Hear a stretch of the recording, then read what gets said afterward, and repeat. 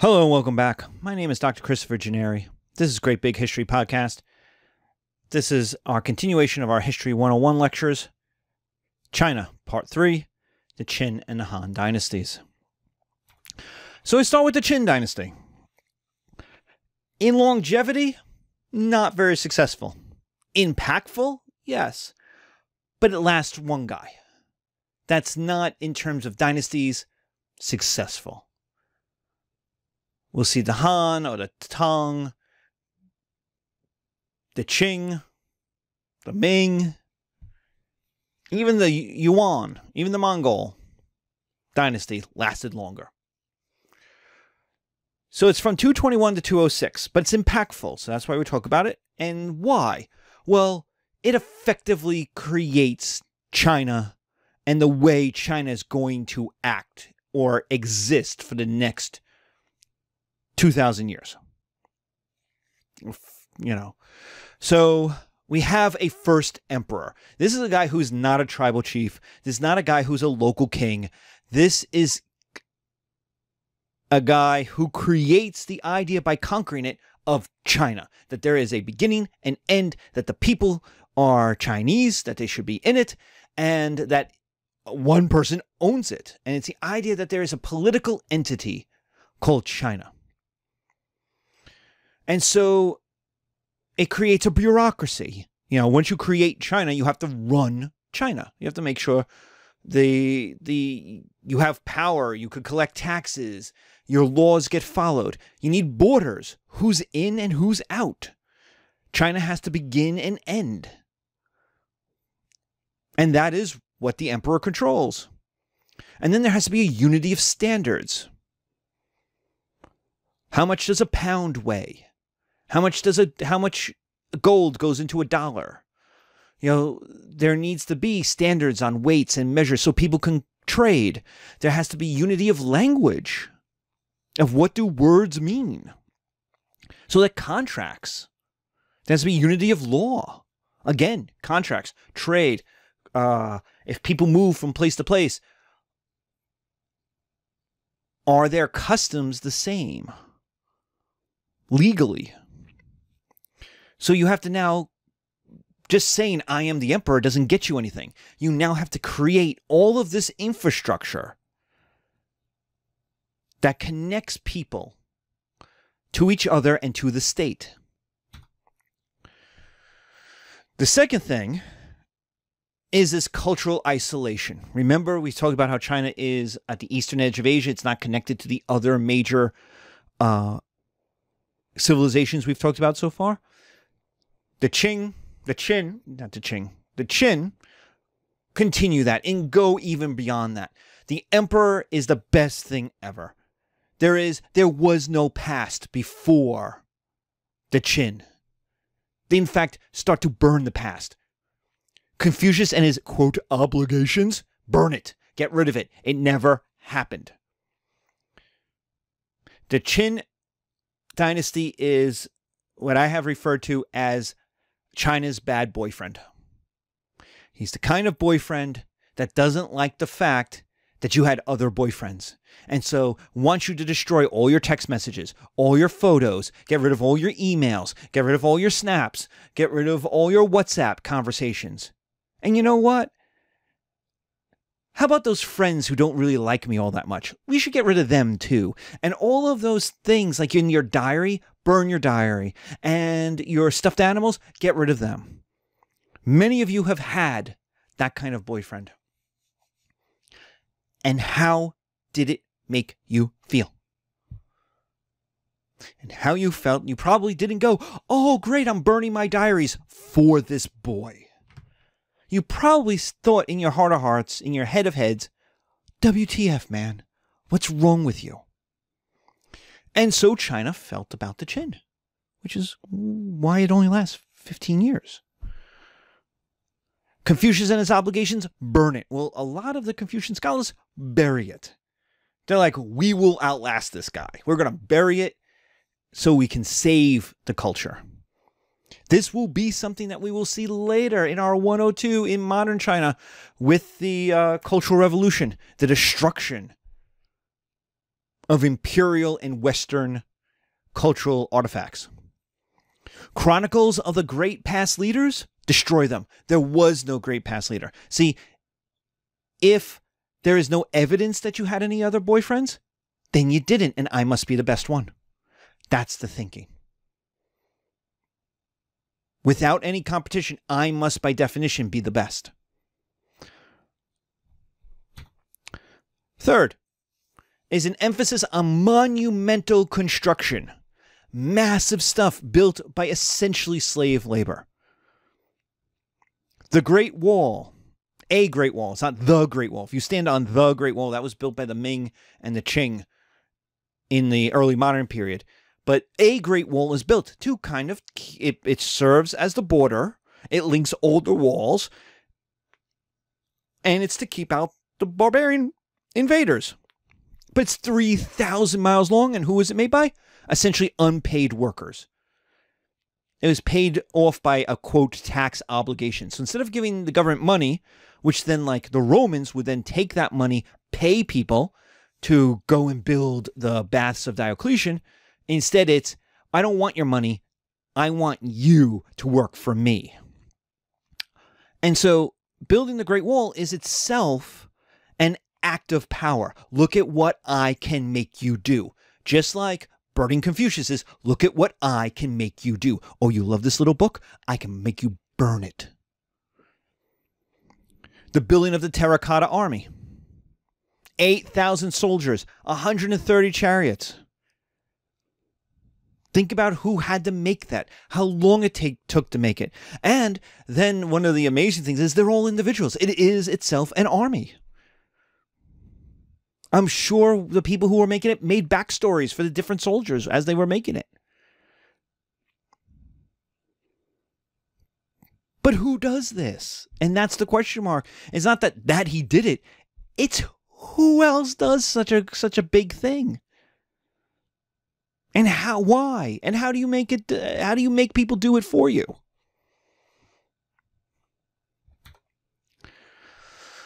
The death of the emperor, the death of the Qin emperor equal to a weak successor. No one feared him. They feared Huang.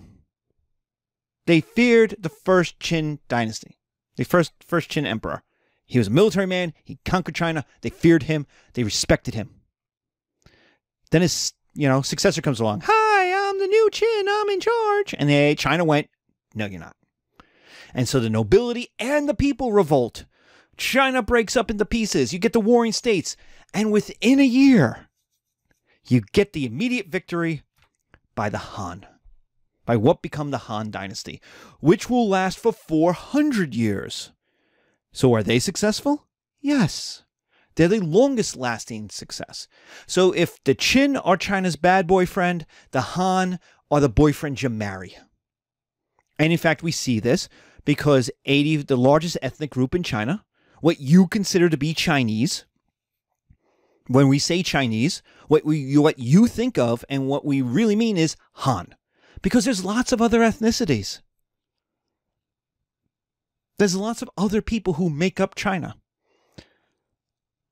But the Western notion of quote Chinese is actually Han Chinese.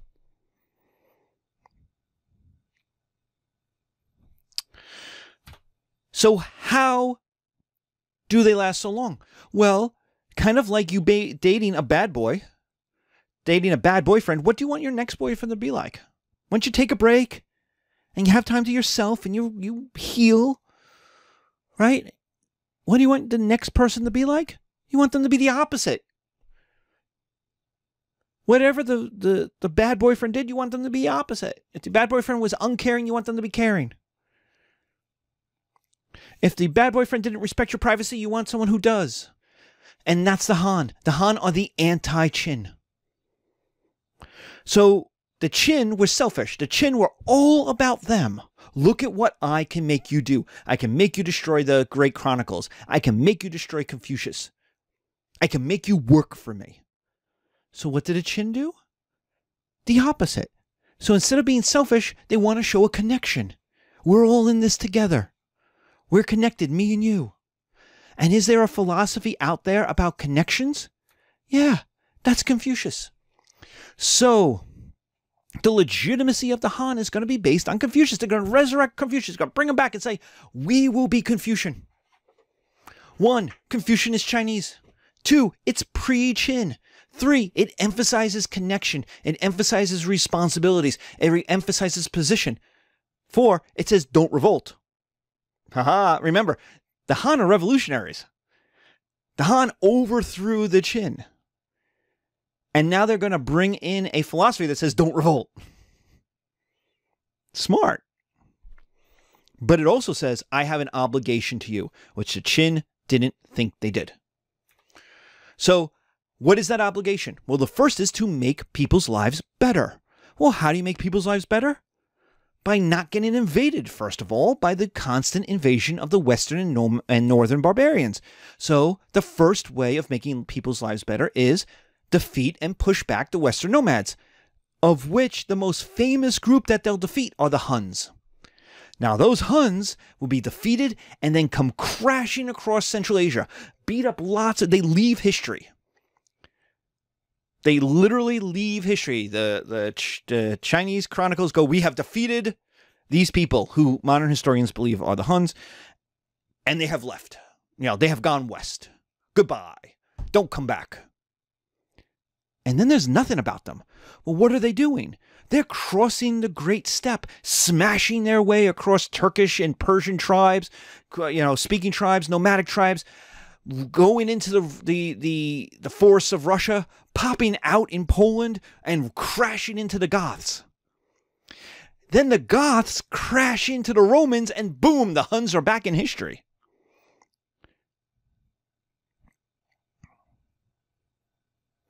So the Huns are most the most famous of the Western nomads, the Han, H A N, will be beat up. And the idea of that is to protect people from invasion, right? And we've talked about how geography meant there was this constant threat of invasion. Now, if you look at the map on the video, you will see this is a much bigger China than Qin China was. It, it extends farther to the south and farther to the west.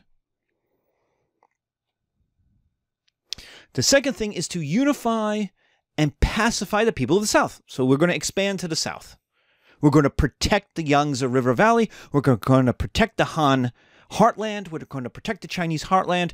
So how are we going to do it? Well, one is to go north, push against the northern barbarians, right? The second is to push south and pacify it open it up to settlement. It's good uh, land for farming. So we're going to assimilate and integrate with the peoples of the South. And we're going to make that into, instead of a frontier, first it will become a frontier, then it will become part of China. And as the Han push west against the Western nomads, that southern part will become part of the heartland, as if it was never not part of China. So it becomes, the southern part becomes the agricultural heartland. It's where the food is made, it's where the farmers are, it's where the people are.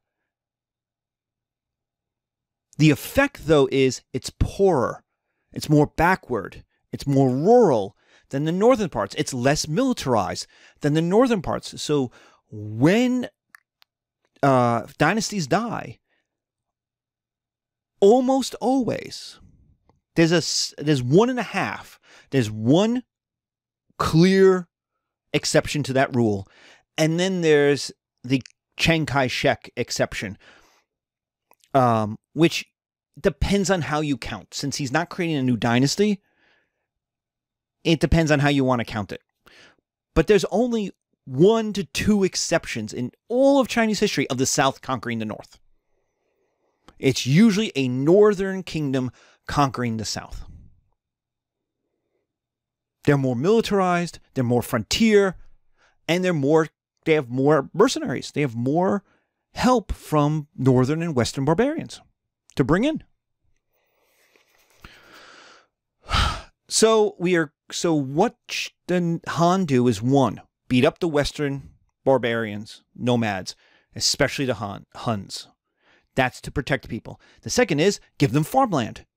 Unify and pacify the people of the South, and create an agricultural heartland that opens up farmland, that opens up land. People can now move who don't have any land, who want more land, and it becomes part of China. So they're making more money. And then three, help people make more money. And that means connecting China to other civilizations. Ultimately, if all you do is sell your goods to Chinese people, it's a closed circular system. You're not getting, you individually might get richer, but China's not getting richer. To make money, China needs to sell stuff to foreign peoples and bring in their money. This is kind of mercantilism 101. You got to get other people's money. Otherwise, you're in a closed system where you're just basically, uh, as as Americans would say, paying, taking from Peter to pay Paul. You know, it's the same money. It's just one person has more of it than the other person, but in, in terms of the economy of China, it doesn't grow. It's just it's it's like a a dryer, you know, with with uh, towels in it, just spinning in circles. You're not adding anything. To help people make money and get actually wealthier, you need to connect China to other civilizations, and that is the Silk Road.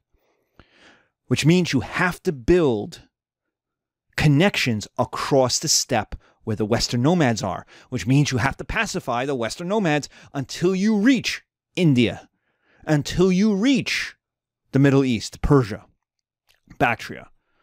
And you have to create towns along the way, rest stops, just like on the turnpike, along the way that people can stop, people can rest, people can sell stuff. And that will be what's what we call the Silk Road. So the Silk Road, which will connect eastern China all the way to Europe. It is China's connection to the outside world. It allows for a massive amount of money. Every town along the way will be huge in making money.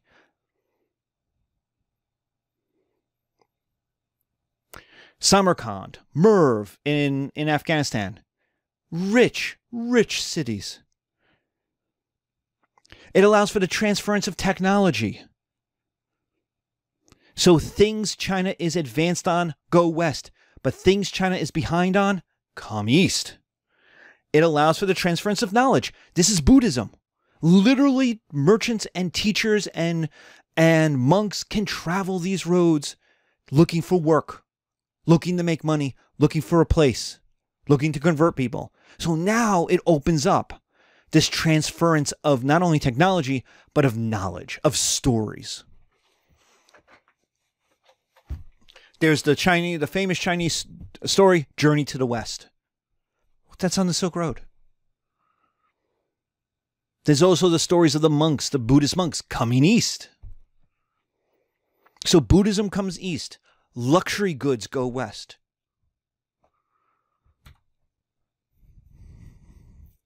The Silk Road allows for population size plus stability and unity. Because China has such a large population, because it is stable, because it is unified, because there is a China, it will dominate global trade, which equals massive wealth coming in.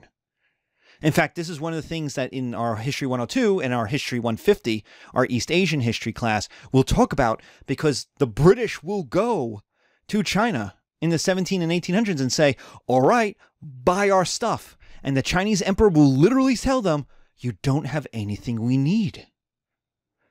So we're going to take your money. Thank you. We're going to take your gold. And the British say, no, no, no, no, no, no. I like my gold. I will give you iron. And the Chinese emperor goes, We have plenty of iron. And this is where the Opium War comes in because the British are going to say, Well, we're going to sell you drugs.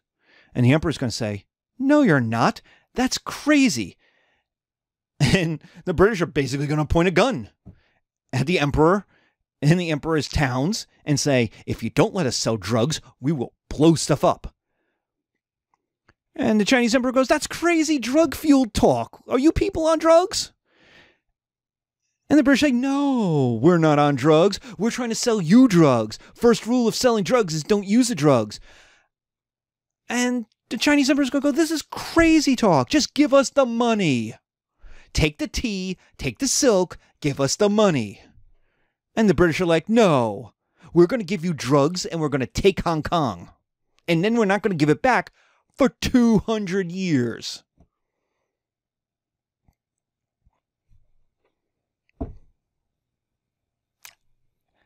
Wait till we get to imperialism in History 102. Or this this period of China, the 1820s through 1900 period of China in our History 150. It is a, a it is both infuriating, confusing, and like full of WTFs. Like people acted this way? And you go, yeah, because they had guns. Because they had industrialization. Because the British could. So, China, for the next 2,000 years, or essentially till the 1700s, will dominate global trade. Remember, Columbus wants to get to China. The Portuguese, while happy to get to India, want to get to China. The goal is always China, and it is China that creates the luxury goods. It is China that will dominate global trade, whether it is silk, whether it is porcelain, whether it is tea. It is China that will dominate global trade, which brings in massive amounts of wealth. So when the Europeans show up, they're stunned by just how wealthy ordinary Chinese people are, like ordinary merchants are, have an education. There's a deep civilization. So China goes, so this, so what all that money fuels is urbanization, education, technology. It allows for the assimilation, the creation of, quote, China as a civilization. It binds it all together. The things that aren't happening in India. Not that India doesn't have wealth, not that it doesn't have um, trade, but because of its geography, it's not able to pull all those cultural parts together the way China's able to do. So China goes from being two the, the land between two rivers to being continental. It goes north to the forests, south to the sea, and west to the mountains. And people start to identify themselves as Han, and that becomes the designation for traditional Chinese, the heartland Chinese, the main ethnic group of China. So, how does the Han collapse? Because it collapses, and so it's doing well. Well, what it ends up with is a series of child emperors which in and of itself is not bad. So, what does it mean? It means you have a regency, R E G E N C Y. You have a regency. You have a bunch of adults who run the show while the emperor is too young to run it himself. Okay? Now, the thing about regencies are they are usually built to balance each other out. It's usually within the family. It's the mother, it's an uncle. They tr- they balance, and what they do is is willfully or not. Usually, it's to protect the child, protect their future ambitions. Now, you may get an uncle who tries to kill the child and become emperor himself. That happens from time to time uh, in lots of societies. But the idea basically is they balance, which means nothing gets done because someone has an ambitious idea and they will get two or three people to vote against it. And so in the end, things begin to fall apart because they're not getting done. Now that's okay. That's all right. Why? Because the expectation is for a child emperor will one day be an adult will be a 21 year old man, will become emperor in his own right, will tell his mom he doesn't want to listen to her anymore, will tell his will send his uncle out to the west somewhere and will run things as an emperor. And then we'll fix the stuff. We'll say thank you mom, thank you uncle, but I'm running things now. And we'll be and then we'll be in charge from there 20th year to their 50th or 60th year. A long period of stability where they can have plenty of time to fix stuff, fix bridges, clear roads, get rid of bandits, all that kind of stuff. Right? The uncle gets thanked, and as long as he wasn't a jerk, he's given a command out in the West go and beat up as many nomads as you want. Right? Mom gets to the palace. They get to have dinner once or twice a week. It's nice. She gets to promote the ladies in waiting she wants to promote. Maybe she's involved in his marriage. Right? She's still a power at court. But you have an adult. Well, what's happening at the end of the Han is that child becomes emperor, gets married, has a child, dies. So we now have another 20 years of waiting for the child to become emperor. And then that child, that emperor, got married, had kids, and then died. And so we have another 20 years. So things that's that were a problem, a bridge that's needed repairs during the first child emperor has fallen into the river by the third child emperor. Things are really the child emperor themselves aren't the problem. It's the series of child emperors so that things continue not to get done. All right. So what we need is an adult to take over, have a long reign, have some stability. Not a problem. As long as nothing bad happens, well, what happens? A death cult You're known as the Yellow Turban. If you have ever played the video games of like Dynasty Warriors, the Yellow Turban pop up. They want a religious revolution. They want to obliterate the emperor. They want to bring heaven crashing down on earth. They want an apocalypse to happen so that they can get into heaven. So that heaven comes to earth. They will be rewarded. They are an apocalyptic death cult. Now, I don't care how young your child emperor is or how stuck in status your regency is. You can't allow a religious death cult to blow up the world and end civilization. Something has to be done. And so, what do you do? You call out powerful generals from powerful families. And those powerful generals create private armies. Why? Because they're not loyal to the emperor, or the, the emperor can't command. The emperor's a child. Notice this is not a problem the Roman Empire had because the emperor was a general. That was the name emperor. Emperor meant general. And so a child couldn't become emperor. It had to be an adult, one way or the other. But in China, it was a position. It was a religious political position. It was a dynastic position. And so you were holding the position for later.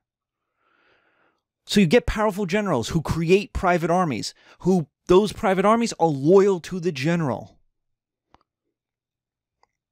And what those generals then do is fight over who will dominate the emperor. They will sweep out the regency and they will fight over who gets to control the emperor. Since the emperor is a child, he'll do what he's told. And if one tries to do it, Cao Cao, the others will try to stop him. And boom, you have the warring states. China breaks up into pieces. It has the warlords who then fight each other. And it starts as some 20 plus uh, little countries. And then they consolidate into three big nations, three big Chinas that are called the Romance of the Three Kingdoms. And the story of this, the story of the death cult, the child emperors, the powerful generals, the um, private armies, the Cao Cao, C A O, C A O, trying to dominate the emperor and marry his daughter to the emperor so he would become emperor. He would be the father of the emperor and essentially absorb all the power. Uh, the hero Lu Bu, who is both like a Homeric Achilles, but also like a jock. The story of this collapse is The Romance of the Three Kingdoms and is one of the first novels written anywhere in the world. And it tells this tale and has heroes and magic and legend and history. It is massive. It has a thousand ca- characters. It is 800,000 words. It is Tolstoy. It is Tolstoy. It is War and Peace in the Western canon. It is that sweeping of a tale. And thus it has given us TV shows and movies, and it is the romantic period of Chinese art. It is something all Chinese artists can refer to. Poets will refer to it. Playwrights will still write write plays about this period. because it's heroes and magic and legends and a little bit of history. Though the history is not its goal. Romance of the Three Kingdoms is not a history book. And it's men and women and love and death and all of that kind of stuff. But the fact is, the Han dynasty dies. It dies out. It is replaced by a warring states period that will last for 100 years. You will get a unified China for a little while, and then the Tang will come in, sweep everything aside, and take over. And be kind of the next massive great dynasty. And they will do it in the age of Charlemagne in the 7 and the 800s. So that's the end of the Han. Thank you. Be careful. Don't date bad emperors.